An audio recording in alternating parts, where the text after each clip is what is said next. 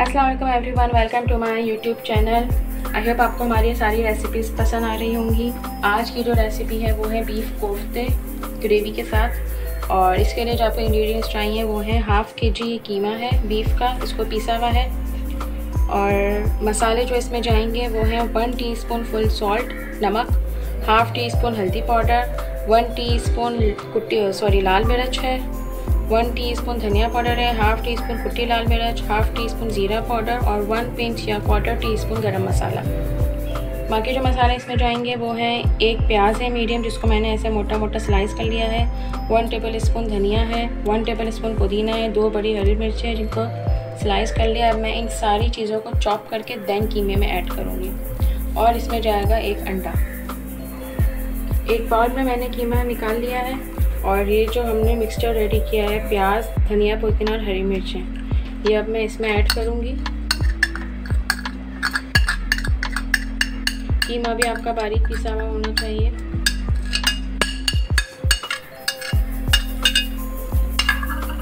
इसके बाद सारे मसाले जितने भी हैं, वो सब इसमें ऐड करने हैं।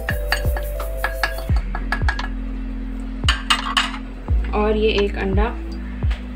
इसको अच्छे से मिक्स करके बस ये इसमें ऐड करना है।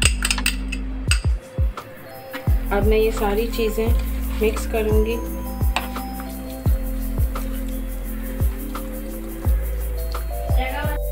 कि मैं मसाला मिक्स करके मैंने इसको फ्रिज में रख दिया था और अब मैंने इसे बाहर निकाला है। पानी वाले अपने हाथ करने हैं और एक मीडियम साइज़ का हिसाब से आपने कीमा लेना है हाथ में और इसको अच्छे से राउंड राउंड करना है कि बिल्कुल कहीं पर भी क्रैक्स ना आए कोई। और कोफ्ते जो हैं बहुत अच्छे से बने, क्योंकि अगर क्रैक्स आएँगे तो वो ग्रेवी में ही खुल जाएगा। बिल्कुल एक परफेक्ट बॉल बनाना है। ये आप देख सकते हैं। ये हर तरफ़ से परफेक्ट है, बिल्कुल सही है। बॉल्स बनाने के बाद भी आपने इसे फ्रिज में रखना है। अब आ जाते हैं अपने नेक्स्ट स्टेप पे। कोफ्ते की जो बॉल्स बना के रखे हैं, वो मैंने बॉल्स बना के फ्रीज़र में रखे हैं कुछ देर के लिए, जब तक इसकी ग्रेवी के इंग्रेडिएंट्स आप देख लें। ये दो मीडियम प्याज हैं, इनको स्लाइस किया है और इनको मैं अभी फ्राई करूँगी। एक पाव दही लेनी है आपने बीट करके, फेंटेंगे इसको। मसाले जो आपको चाहिए, ये डेढ़ टी स्पून नमक है। डेढ़ टेबल स्पून लाल मिर्च पाउडर है, वन टीस्पून धनिया पाउडर है, वन टीस्पून ज़ीरा पाउडर है क्वार्टर टी स्पून गरम मसाला पाउडर है, वन टीस्पून कश्मीरी लाल मिर्च है और हाफ़ टी स्पून हल्दी पाउडर है। डेढ़ टेबल स्पून मैंने लहसुन अदरक का पेस्ट लिया है। गरम मसाला आपने लेना है साबुत, तेज़पत्ता, लौंग, काले मिर्च और इलायची दो। बड़ी इलायची जो ये वाली होती है, ये लेनी है। और हम इसमें ऐड करेंगे वन टेबल स्पून हरा धनिया और चार हरी मिर्चें। हाफ़ कप जितना ऑयल लेना है, इसे गरम करना है देन इसमें ऐड करनी है सारी प्याज। प्याज को गोल्डन ब्राउन होने तक फ्राई करना है। फ्राई करने के बाद मैं इसे निकाल लूँगी और ब्लेंड करूँगी।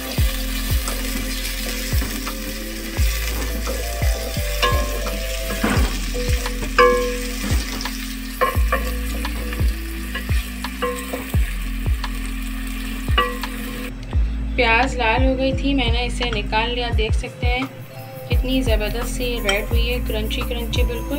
अब इसको थोड़ा ठंडा होने का वेट करेंगे देन इसको दही के साथ में ब्लेंड करूँगी और फिर नेक्स्ट प्रोसेस आपको दिखाती हूँ। जो प्याज वाला ऑयल था, वही ऑयल मैंने रहने दिया है। अब मैं इसमें डालूँगी ये सारा गरम मसाला। लौंगे, इलायची, बड़ी वाली, काली मिर्च और तेज़ तेज़पत्ता, इसको थोड़ा सा फ्राई करूँगी।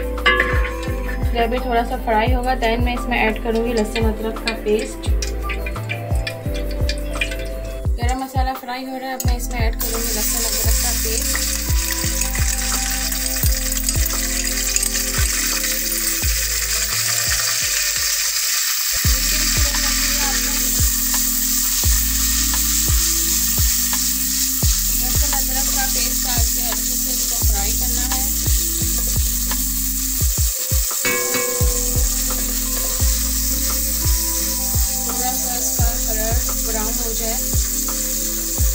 इसमें जो दही का और प्याज का पेस्ट बना के रखा है, वो मैं इसमें ऐड करूँगी। आप देख सकते हैं स्लोली स्लोली इसका कलर चेंज हो गया।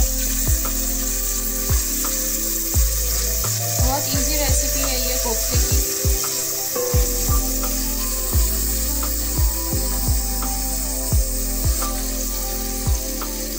ये मिक्सचर है दही का और प्याज का जो मैंने पेस्ट बनाया था, अब मैं ये सारा इसमें ऐड करूँगी।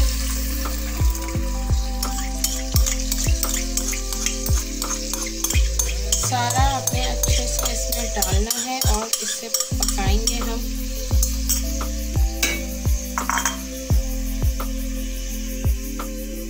मीडियम फ्लेम रखनी है, चूल्हा स्लो नहीं करना है।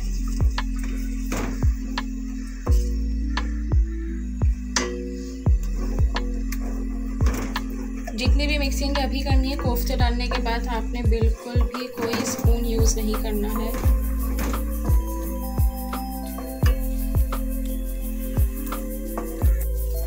ये आप देख सकते हैं, इसका ऑयल सेपरेट हो गया, इसका मतलब ये हमारी ग्रेवी अब तैयार है। अब मैं इसमें ऐड करूँगी जो हमने कोफ्ते बना के रखे हैं। वन बाय वन एक एक करके आपने ऐड करने हैं स्लो फ्लेम पर ही, और अभी स्लो फ्लेम पर ही रहेगा ये। सारे कोफ्ते ऐड करने, और अब इसमें हमें बिल्कुल भी चम्मच नहीं चलाना। बिल्कुल केयरफुली आपने इसमें सारे कोफ्ते ऐड करने हैं। कोफ्ते मैंने ग्रेवी में डाल दिए, आप देख सकते हैं। इसको मैंने बिल्कुल स्लो फ्लेम पे रखा है और ये इसमें बबल्स आ रहे हैं। अब ये इसी में पकेगा। बिल्कुल भी आपने चम्मच नहीं चलाना है। जब इसमें थोड़े से बबल्स आना स्टार्ट होंगे दैन मैं इसमें ऐड करूँगी पानी। इसकी ग्रेवी में पानी आना स्टार्ट हो गया। अब आपने पानी उतना ऐड करना है जितनी आपको इसकी ग्रेवी चाहिए या आपको इस जितना इसका शोरबा चाहिए। मुझे जितना शोरबा चाहिए, मैं उस हिसाब से इसमें पानी ऐड कर रही हूँ। मैंने इसमें आधा लीटर पानी ऐड कर रही हूँ। अब मैं इसको कर दूँगी कवर। कम से कम 25 मिनट के लिए आपने इसे ढक देना कोफ्ते हमारे अच्छे से पक गए हैं। ग्रेवी भी रेडी हो रही है। अब मैं इसमें ऐड करूँगी गरम मसाला। जो क्वार्टर टी स्पून बचा के रखा था। ये मैं इसमें ऐड करूँगी। और मैं इसमें डालूँगी हरी मिर्चें। पहले मीडियम फ्लेम रखी थी इसकी।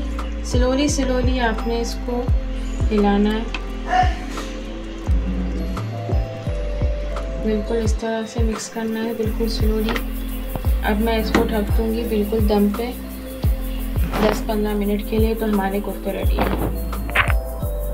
यमी से ज़बरदस्त है, हमारे ये कोफ्ते का सालन रेडी हो चुका है। आई होप आपको हमारी ये इजी सी रेसिपी पसंद आई होगी। कम मसालों के साथ और एक बहुत अच्छे से कोफ्ते टूटे भी नहीं हैं, बिल्कुल, आप देख सकते हैं, बिल्कुल गोल हैं ये। और ग्रेवी भी बहुत अच्छी बनी है इसकी। होप आपको पसंद आए होंगे। हमारे चैनल को लाइक कीजिए शेयर कीजिए सब्सक्राइब कीजिए बेल आइकन पे प्रेस कीजिए। मज़ीद रेसिपीज़ के साथ फिर हाजिर होंगे। अल्लाह हाफ़